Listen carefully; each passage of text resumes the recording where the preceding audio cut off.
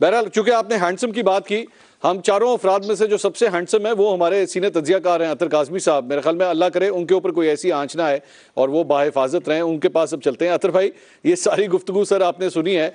ये किस हद तक सर असरअंदाज करेगी ये तहरीक आपके ख्याल में? मौजूदा हुकूमत के लिए कितनी बड़ी परेशानी साबित हो सकती है ये तहरीक? देखिए मंसूर भाई हैंडसम तक तो मैं आपको कॉम्प्लीमेंट ले लेता हूँ, पर उससे आगे जो आपने बात की, साथ डरा भी दिया आपने तो अल्लाह करे कि वैसी सूरत हाल हो। लेकिन अच्छा दूसरी बात ये कि देखिए मंसूर साहब कोई भी जो तहरीक होती है उसका मकसद क्या होता है?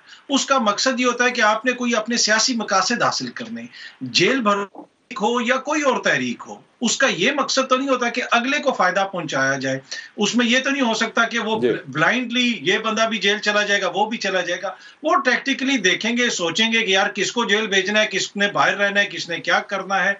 फिर कितने आप नजरियाती हम्म। हैं ये भी डिपेंड करता है क्या यहाँ पे कोई बॉबी सैंड्स जैसी शख्सियत है जो साठ दिन तक हंगर स्ट्राइक पर रहा और उसने अपनी जान दे दी सताईस साल की उम्र में पाकिस्तान की सियासत में कोई ऐसा है ऑल दो के उसके ऊपर तो दीगर इल्ज़ाम हम्म। वगैरह भी थे आई आर ए के हवाले से लेकिन कहने का मकसद है कि आप कितने मोटिवेटेड हैं दूसरी चीज़ ये है कि हम्म। देखें अब इशू मेन इशू यहाँ पे क्या है मेन इशू ये है कि अभी तलाल भाई ने भी कहा कि जनाब ये असेंबलियाँ तोड़ के रिग्रेट कर रही क्या असेंबलियाँ जब तोड़ी गई थी उस वक्त ये चीज़ आइन में लिखी भी थी कि जनाब नवे रोज में इंतबात करवाएँगे और जिस दिन असेंबलियाँ टूटी उस दिन के बाद वो आइन मुअत्तल हो गया या उसी आइन के तहत अतर भाई मैं सिर्फ़ कथा कलामी की माजरत इसमें तो कोई दो राय नहीं है। मैं आपकी मतलब मेरे ख्याल में तो आप, आपको तो उसको बताने की ज़रूरत ही नहीं है कि हर सूरत नब्बे दिन के अंदर इलेक्शन होने चाहिए। इससे तो मेरे ख्याल में कोई भी इंकार कर ही नहीं सकता।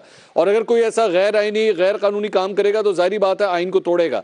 लेकिन मैं एक्चुअली एक डिफरेंट एंगल से इस चीज़ को देखना चाह रहा हूँ कि अगर पाकिस्तान तहरीक इंसाफ ने इस तहरीक का ऐलान कर दिया है तो कहीं ऐसा तो नहीं है जिस तरह असेंबलियाँ तोड़ने वाला एक इकदाम कर लिया था, जिसका तलाल साहब अभी ज़िक्र कर रहे थे कि बाद में फिर पछतावा हो। इससे पहले 126 दिन का धरना भी हमने देखा, वो धरना भी वो रिजल्ट्स नहीं ला सका जो ये चाहते थे।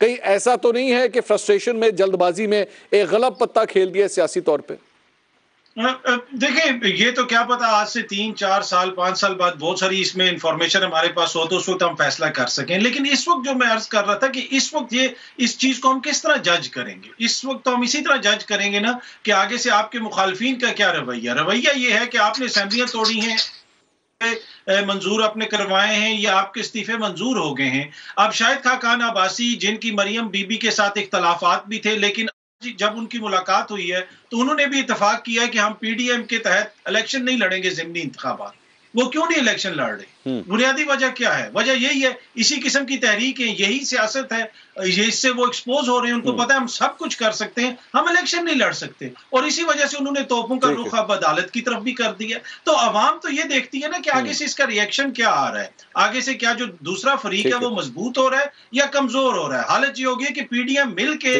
जो इस्तीफे इन्होंने जिस तरीके से मंजूर किए उसके बाद आप कह रहे हैं कि अब हम इनका मुकाबला नहीं करेंगे। तो इससे आप खुद अंदाज़ा लगा लें कि किसकी हाँ। सियासत कामयाब है या किसकी नाकाम है।